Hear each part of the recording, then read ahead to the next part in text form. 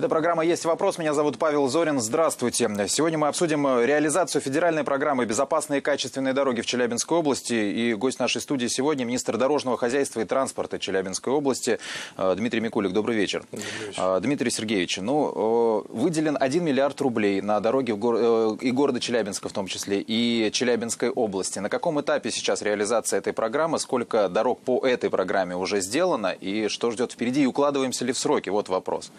Эта программа носит определенные ключевые индикативы, то есть их фактически два основных. Это ликвидация очагов аварийности на данных э, дорогах и приведение этих же дорог э, в нормативное техническое состояние. А, по состоянию на 2017 год, если мы говорим о сегодняшнем дне, уже сейчас мы показываем выполнение на сумму более 700 миллионов рублей. А, буквально 25 августа у нас очередной этап процентования выполненных а, объемов работ. Мы еще планируем на сумму порядка там, 500 миллионов рублей. То есть по сути, сейчас, конечно, можно сказать и два слова о погоде, но мы об этом говорить не будем сейчас. По сути, мы идем в э, календарном графике выполнения объемов работ. Э, каких-то рисков или технических сложностей по невыполнению э, данных объемов нет. Э, подрядная организация в еженедельном режиме отчитывается по всем вопросам. По, если мы говорим об асфальте, то уже более 200 тысяч квадратных метров сделано по состоянию на воскресенье прошедшее. И идет достаточно большая работа, вы видите, наверное, в городе по техническим средствам организации дорожного движения. Это и пешеходные переходы в новых федеральных стандартах, это и дублеры знаков пешеходный переход, это и освещение, и барьерное ограждение, и разметка, ну и целый комплекс работ. Угу. Ну вот вы сказали, целью является ликвидация аварийных участков. То есть я правильно да, понимаю, что дороги выбирали именно по уровню аварийности? Конечно. То есть э, два года назад была изменена методика определения очагов аварийности. Это соответствующие технические характеристики uh, по городским улицам соответствующие параметры, по региональным другие параметры. И, соответственно, исходя из этих технических особенностей, были подобраны все объекты, которые вошли в эту федеральную программу. Угу. Меняются, насколько я понимаю, стандарты безопасности в том числе. Или стандарты безопасности остаются прежними, методика меняется? Или... А, стандарты безопасности, естественно, а, ужесточаются. То есть они меняются. И, а, конечно, в усилении стандартов безопасности и меняется методика.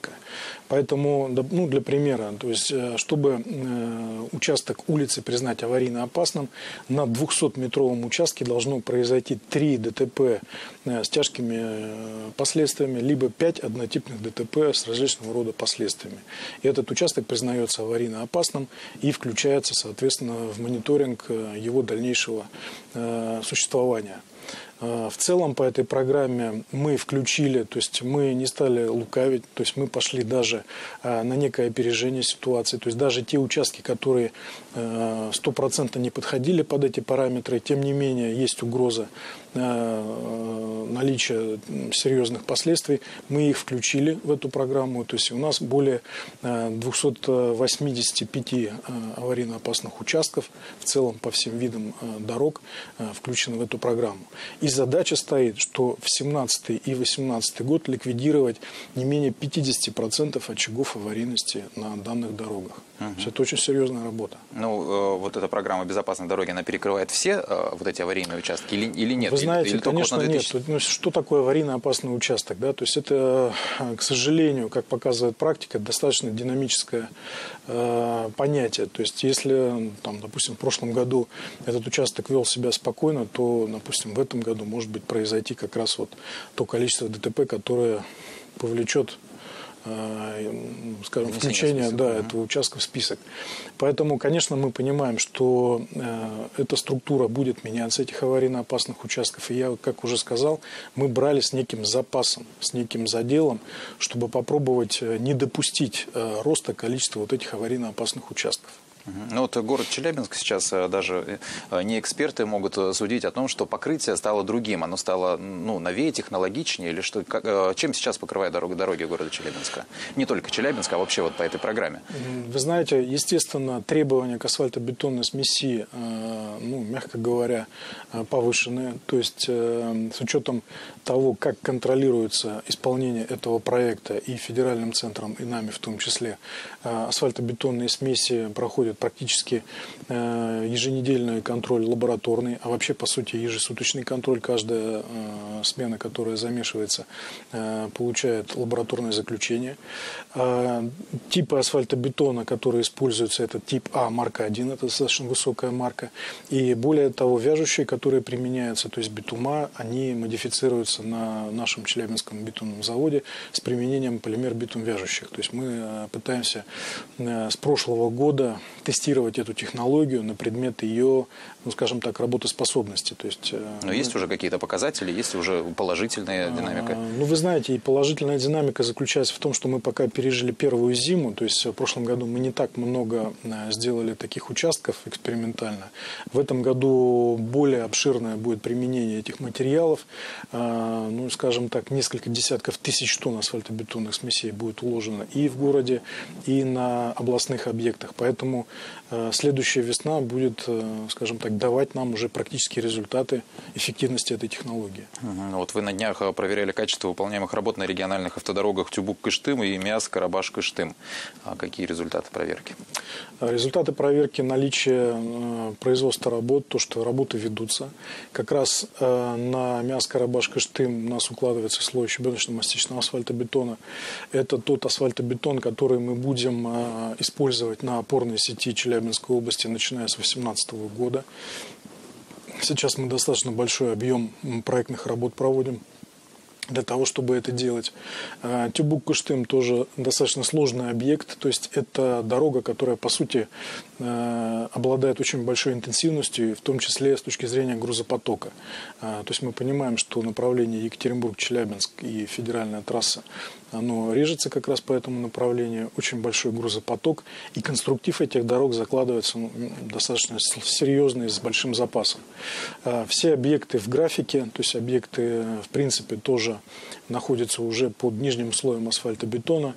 А, сейчас мы готовимся, вот, ловим погоду и приступаем к обустройству верхних окончательных слоев. Поэтому надеюсь, что все будет сделано вовремя и в надлежащем качестве. А есть ли какой-то федеральный рейтинг дорог, вот именно областных дорог а, по всей стране? А, и какое место занимает Челябинская область, интересно? Скажем так, э, рейтинг э, достаточно простой, то есть есть показатель нормативного состояния э, дорог, да, то есть он измеряется в процентах, то есть соотношение дорог в нормативе и в ненормативе. Вот. Но учитывая специфику эксплуатации наших дорог, то есть это наличие большого количества транзитного транспорта, больших грузов, конечно, мы, у нас не очень высокие темпы роста этого показателя, то есть мы планируем, скажем так, в настоящее время стоит задача сохранить этот показатель, то есть не дать дороге раздавить окончательно.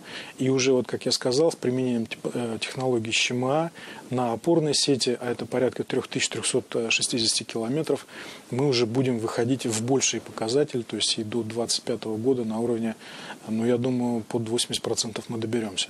У нас есть одно видео, нам его прислали телезрители. А, давайте посмотрим. Дорогу засыпали шлаком заводским. После плавки металла с СПЦ-2 с печки. Эти вот ерундой по обочине дороги э, стоят жилые дома, и то есть вот пыль от больших грузов, которые вообще не имеют права там ездить, насколько я понимаю, то есть проезд там запрещен. А, и вот эта вся пыль летит к ним в дома. И э, есть жалобы и в прокуратуру, э, есть жалобы и в администрацию города. Вот. Но решение прокуратуры есть, но нету четких, четких дат, когда вот эту дорогу сделают. Ну, я, наверное, тоже сейчас не отвечу, когда конкретно ее приведут в надлежащее состояние. То есть нужно переговорить с руководством Машинского муниципального района. Э, по большому счету, если дороги ну, засыпаются такими материалами, инертными. Есть такие мероприятия, как, которые называются обеспыливание. Да, то есть это простая обработка определенным раствором, да, не таким дорогим, чтобы предотвратить вот такую пыль, которая идет, конечно, и раздражает жителей, которые проживают вдоль этой дороги. Вообще, на самом деле, Ашинский муниципальный район достаточно сложная обстановка по дорогам. Мы, а, скажем так, плотно работаем с прошлого года с Ашинским муниципальным районом. А, провели а, полное обследование наших региональных дорог, которые находятся на территории этого района. Вот. И у нас есть, ну, скажем так, определенные задачи, которые говорят о том, что понимая, вот вы видели даже в этом репортаже, какая техника ездит, да, вот проехал Тонар, у него у пустого-то полная масса свыше 20 тонн, а загружает он там до 60 тонн материала. Ни одна дорога, если мы возьмем с вами ГОСТ, действующий в Российской Федерации, не рассчитана, не рассчитана на такие эксплуатационные нагрузки, даже самая, скажем так, мощная. Поэтому наша задача первая – постараться сформировать план работ ну, естественно, в зависимости от бюджетной обеспеченности по Ашинскому муниципальному району, по нашим, по региональным дорогам. А, и а, у меня э, в настоящий момент на территории области э, в рамках э, программы министерства реализуются мероприятия по установке видеокамер, я так упрощенно говорю, системы, автоматизированной системы метеорологического наблюдения с функцией фиксации трафика вот, мы на основании данных э, статистических расчетов будем уже принимать решения по обустройству, ну это тоже буквально, может быть, год-два займет эта работа, к сожалению, э, автоматизированных э, постов весогабаритного контроля. То есть это одна из задач, которую мы перед собой поставили.